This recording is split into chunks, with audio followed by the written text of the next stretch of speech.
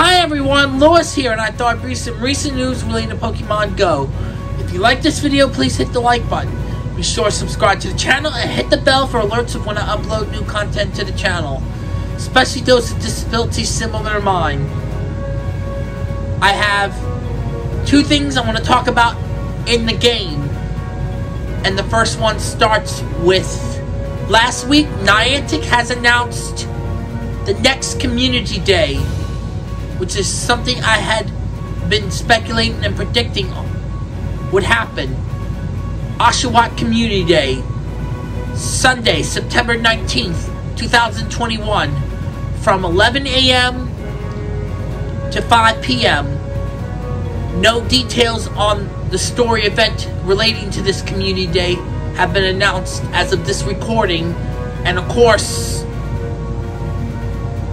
Shiny Oshawott is confirmed, and of course, the move it gets will likely be the move that Squirtle, Totodile, Mudkip, and Piplups evolutions got when you evolved the Pokemon stage after those stages gets. And of course, I will be making a video about that community day as well. In other Pokemon news, as a result of the Hear Us Niantic campaign, and of course, this week, Niantic has brought back 80 kilometers to Pokemon Go. The temporary increased distance is now officially permanent. So now you'll be able to spin Pokestops, gyms, and even battle gyms and do raids that you normally were not able to do from 40 meters. In the wake of Niantic temporarily removing this during the ending of these bonuses earlier this month, Niantic announced that they decided to bring it back, and people like Trainer Tips spoke with Niantic, and of course, this is great news because this definitely will keep Pokemon Go alive for years to come. And of course, Trainer Tips was among a handful of people invited to speak with Niantic about this issue.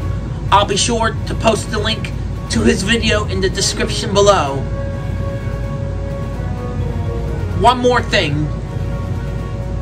I will be streaming again on Twitch this Saturday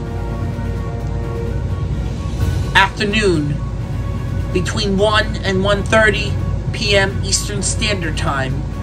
And of course, my Harry Potter Wizards Unite play video from last weekend's Community Day is now available on my channel, this channel. And of course, the video involving me swimming with the Pennsylvania Mermaid Pod might not happen this year. That might have to be put on hold until further notice. Because this summer hasn't been friendly to me. But hopefully, I will get around to shooting this video. For now, this project is on the back burner, along with a documentary about what it's like to mermaid. And of course, what I meant to say is what it's like to get involved with mermaiding and how the sport that grew out of fantasy is a reality and people like myself like to do. And of course,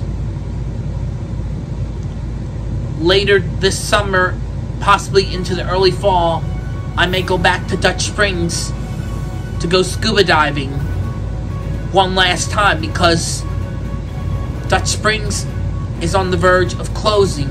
But of course, recent developments have said about it might be alive under different owners' hands. And of course, I like to wish the owners of Dutch Springs, Stu and his wife, a happy retirement. You deserve it. And of course, whatever the outcome is, I'll never forget the memories I had diving at Dutch Springs from when I got certified to even my friend Jessie Fredlin when she got certified to dive with our friends from Scubadelphia and of course when I went back up there last fall. Thanks for watching everyone! You can also follow me on Instagram, Twitter, Facebook, and Twitch. And remember, it's time for adventure!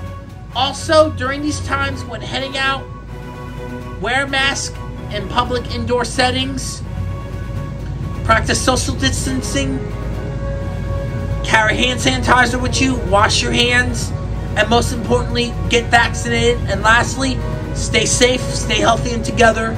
We are finally getting through these dark times, but we're not out of the woods just yet.